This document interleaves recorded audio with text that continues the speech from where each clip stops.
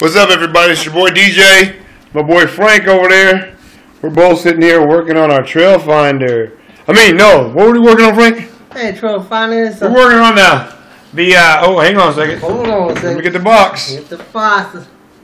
We're working on the Sawback. Yeah, that's right, folks. Trying to get it done for you. Look at that pick. That is awesome. But anyway, It's a little bit tricky. Um, yeah, it's all right though. It's, it's uh oh. This is as far as I got so far. Got the chassis together. I'm working on my front suspension. Uh, solid axles are really cool with that little plate there. Real metal right there, folks. Really scale looking. Awesome, awesome, awesome. Um, yeah, so it's coming together really good. did a really good job. And it got no slipper clutch, but it's still okay. They Let them have a good look at your chassis, Frank. Let them get a good look at your chassis, buddy. Okay, nice. Bling, bling. I ain't got Money ain't a thing. middle, All give him another view. Flip it around, please. All right, now move your hand. No, bring the other side over this way. Yeah, I want to get uh, the motor side. Yeah. And we're just running stock motors in ours. There it is. Yeah, yeah, yeah, yeah, yeah. Stock motor. Uh, 27 turn, no biggie. But yeah, it's coming together real good. We got a big mess here, but we're having fun working on this Sawback. Um, again, here's mine. I'm a little further than my boy Frank. I got my front axle about to mount it in there. Uh, I got my little bling bling 27 turn motor. Gonna be kicking it in the Sawback.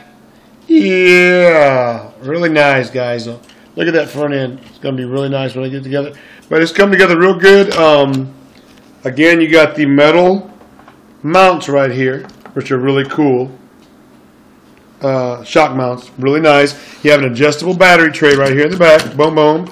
Can be slid slid up closer for smaller lipo packs, whatever. Uh, here's a tranny. Pretty beefy. No slipper, but it's a beefy tranny. I got to give that to it. It's very. The gears in it are very large, very um, what's the word? Solid gears, man. I really like them. So it's, it's really old school. no slipper clutch. Uh oh. Yeah, check that out.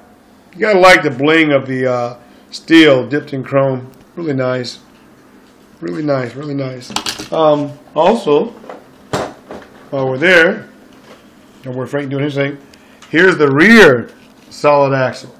Again, that motor cover is metal, baby. And they had us use uh, zip ties to keep the leaf springs together. And of course, those will get cut. And you can see the U joints or bolts, whatever you want to call them. Pretty nice, guys. Pretty nice. Pretty nice. Bearings, full bearings, of course. Fully locked. It doesn't have a locker like the Axial SCX10. The locker is just the locker actually is just integrated into the the gear, which is what you know. Very, it just simplifies everything. You know, why go through having a diff locker when you can just lock the lock the spool or the the bevel gear or whatever else. That's how it works. Again, get you another view, one more view before I let you go. Okay, there we go, there we go. Bling, bling, bling, bling, bling. Very nice. Okay, just wanted to give you a little update. Again, that's my boy Frank. Say, say adios, Frank. Let the folks know. Adios. All right, all right. We're going to get back to working on the uh, saw back by Gmade. Okay, guys. Later.